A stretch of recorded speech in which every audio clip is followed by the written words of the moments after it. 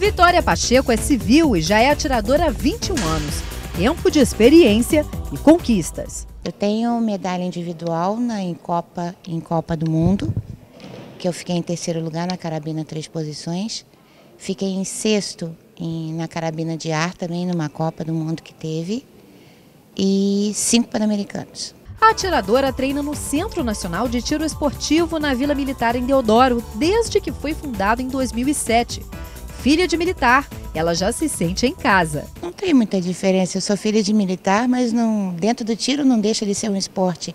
Então, na hora que você está competindo, é todo mundo igual.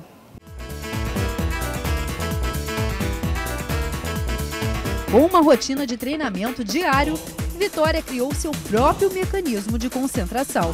Que não existe um estande de tiro que você não ouça um, nenhum barulho. Então, para ter um barulho, eu deixo o rádio às vezes ligado, só uma brincadeira, e me força a prestar atenção no batimento, na posição, acionamento de gatilho, visada e o tempo do disparo.